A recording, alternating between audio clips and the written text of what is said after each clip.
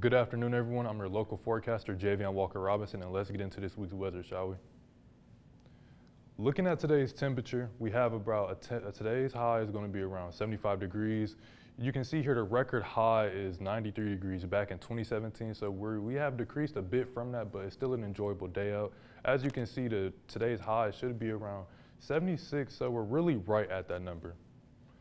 Now, at the 24-hour temperature change rate, you can see it around cities near us in Indianapolis, Kokomo, Terre Haute. You can see there, there's a drastic change over in the east specifically, but it's still a good week we have upon us.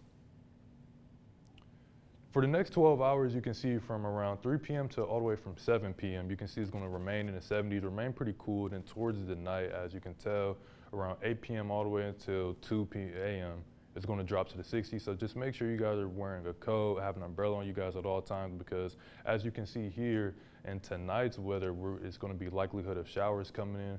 So around 63 degrees with a 60% precipitation rate, and we're going to be getting a little bit of winds coming from the north.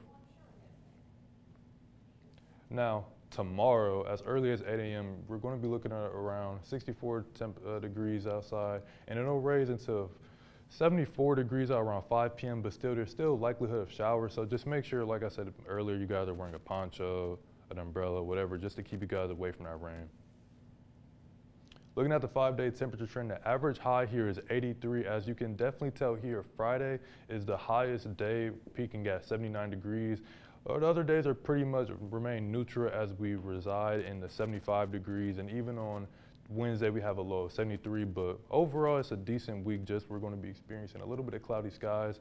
And you can see here the precipitation and departure from normal. This has been a pretty dry month in September. We're right about less than half of an inch. So you can see with the precision cast that there's going to be cloudiness coming in from various days, as you can see on Wednesday and Thursday specifically. The cloudiness coming in. It's pretty much a dry month for us coming upon us. So not really too much to expect there. Now, at the seven day forecast, we're looking at upon pretty much like I mentioned earlier, cloudy days with a little bit of rain coming in, but specifically on Thursday and Friday, we're looking at 20% chance of rain, and on Friday, a 30% chance of rain. Then here on Saturday and Sunday, we're looking at a high of 83 degrees and Sunday 79. So on Monday, we are also looking at the degrees 75. Now, if you want to stay updated with us, just stay contacted within uh, social media, Facebook and Twitter at NLI Weather, and just stay updated with us.